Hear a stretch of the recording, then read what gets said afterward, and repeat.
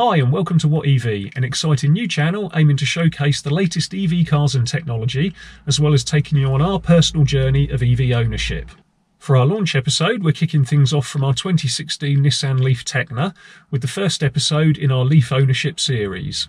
In this vlog, we're going to cover purchase and pickup, as well as featuring the all-important Leaf Spy battery analysis. So if you fancy joining us on our journey, be sure to subscribe and hit the notification bell to receive alerts of all future videos.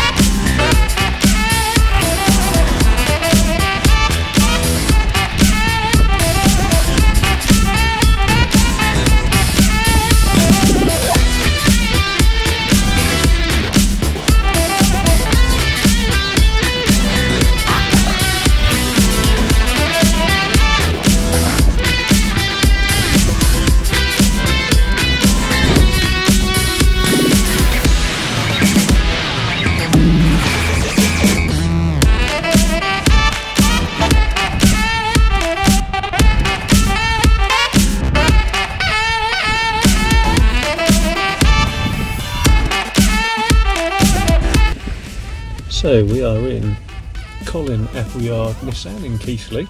Uh, we're checking out our 30 kilowatt Generation 2 Leaf. Uh, we've got Leaf Spy and we've got an OBD2 port plugged into our OBD2 connector. So just checking out Leaf Spy before we progress with a purchase. We can see that the car appears to have had a full charge and we've got 115 miles in the range. Uh, we've got 12 full bars of capacitance.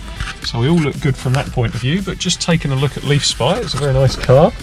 We're just going to have a look, and on Leaf Spy we are showing, if we look here, we have a state of health for the battery of 94.15%, so that's really good.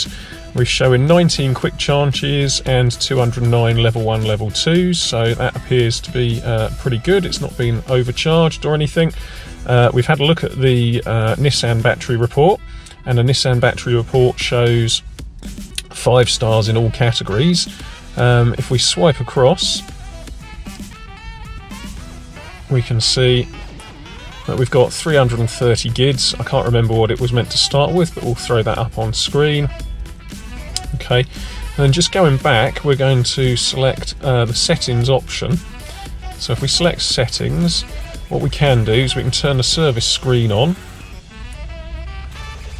Okay, so we've turned the service screen on, we're going to go back and we can now see that there's five screens that we can look at. So if we scroll across those, we should now get the service screen here and we're going to read the ECU versions.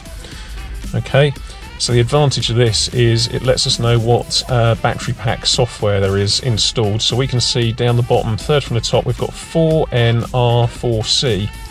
So it was the 4A initial software that was the problem software that demonstrated early degradation on the batteries or highlighted that it might be the case. Nissan felt that that was a software issue.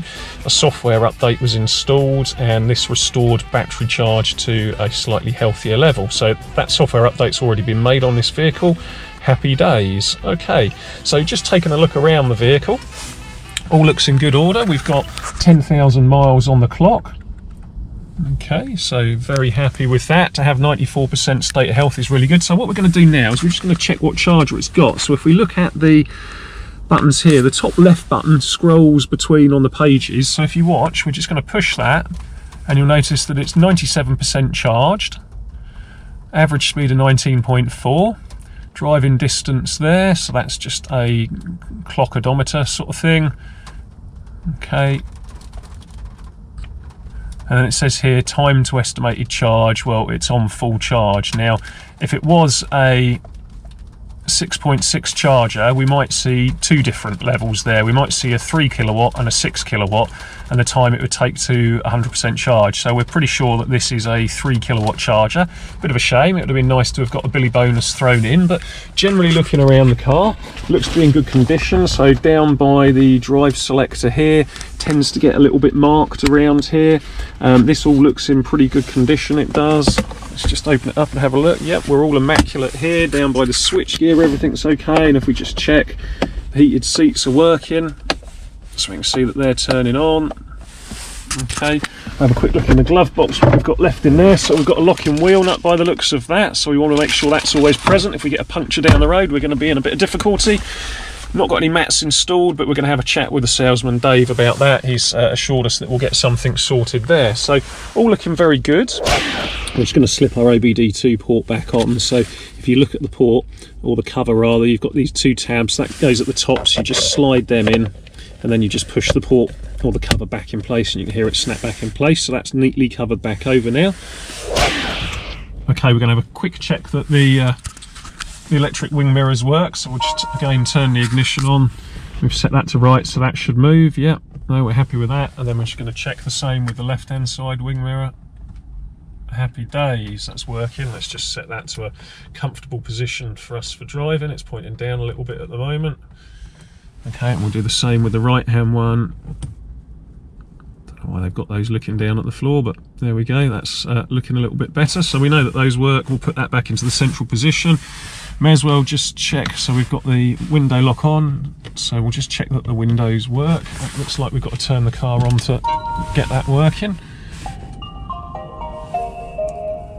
So car's on now. Windows go down, automatic all the way down, all the way up. Same on the left hand side. All the way down, all the way back up again. Okay, happy with the windows. We're just going to check that it works with the window switch over on this side. Yeah. Happy days with that. What have we got in the rear? Oh good, we've got electric in the rear as well. We'll have a check on those in a minute. So we've just come around the back to the boot, so we can see that we've got the Bose, uh, what is it, subwoofer in the back. We've got the optional extra by the looks of it. No, it's the standard carpet inlay in here and then we've got uh, the charger. We just want to make sure it's present here. So that is our three pin plug charging port so that looks good. Um, happy with that. So we've got the other charger inside with uh, the salesman David. We're just going to open up this because again just on the inside you should have a little little toolkit. Yeah toolkit is present and this is a little uh, that's a little tire inflator and what's the little thing we've got here. Let's have a look at this. Conti mobility kit, use only with tubeless passenger car tyres. So that looks like some form of tyre sealant. We'll have a explore of that at a later stage. So it looks like we've got the important bits in there. Let's just have a look in what's in here. So it's just a towing eye by the looks of that. So we'll just have another look. So that's uh, that's all present and correct, which is good. So we can pop that back inside and we'll slip that in there so it's nicely held in place. We'll pop the uh, cover back on. Okay all neatly in place so there's very little if any can't really see any marking on the plastic in here. Boot conditions in lovely condition he's not had his garden wear in the back or anything like that. No evidence of any damage on the back sill. Okay very happy with how this one looks We'll just pop the boot lid back down. Okay, we've got the optional um, charging point, so the solar panel on the top that charges up the 12 volt battery. Puts a little bit of charge in it, I think we should say. It certainly doesn't put any charge in the actual car. Just looking down the side of the car, I think we're happy.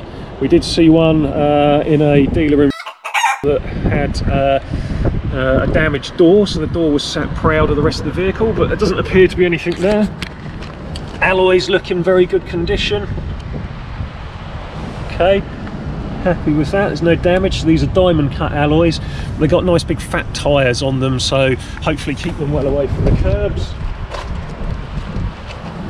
Same again on the front wheel here. Looks to be in good condition. So we've got the, what are they? Enasave Nissan Leaf specified tyres, so that's on the front. And we've got the same with uh, on the back, so we just take a wander around and have a look on the other side. Can't say as I think it's the prettiest car to be honest. Uh, this is a means to an end. Uh, it's a journey of discovery and of uh, financial savings. But so again, we've got a leaf tyre there. That's good news. And we've got a leaf tyre on the back as well. So we've got four identical tyres, and we'll just have a quick look at the tread on those tyres. So looking at that, let's just try and find a wear indicator. Can't see one at the moment. We'll have a look when we get uh, opportunity. That all looks good. Okay, so we're going to hit pause there.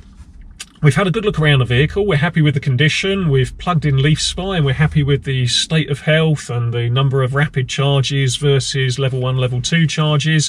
At this point, we popped back inside and we then took the vehicle out for a test drive. We didn't record that, but that all went absolutely fine. There was no problem with the vehicle. So we then looked at um, actually finalising the purchase. So we were happy to buy the car. We'd agreed a purchase price of £13,000 before I actually travelled up to Yorkshire.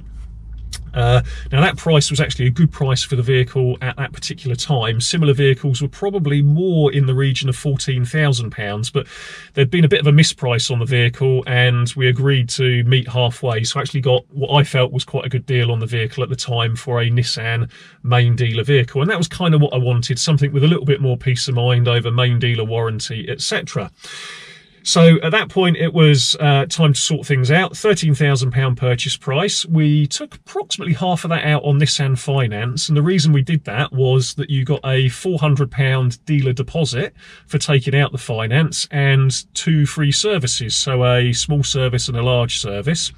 And provided that you made the first monthly payment on the finance deal, you could pay the finance off early and still retain the free services. So £400 off, two free services. It was a bit of a no-brainer to take the finance and we probably will pay that off after the first monthly payment. So all in all, £12,600 for a 2016 66 plate Nissan Leaf Tekna 30 kilowatt very happy with the purchase. Um, we're going to feature our initial drive. So our drive home, Keighley in North Yorkshire, down south to Hampshire, 250 miles, was a bit of a baptism of fire. Um, it actually turned out to be pretty relaxing, but some people probably would have thought that 250 miles was was quite a uh, quite a challenge for your first drive in an EV uh, vehicle. So EV vehicle, electronic vehicle. So make sure you hit that subscribe button and notification icon to ensure that you continue to join us on our journey of EV ownership and broader EV experience.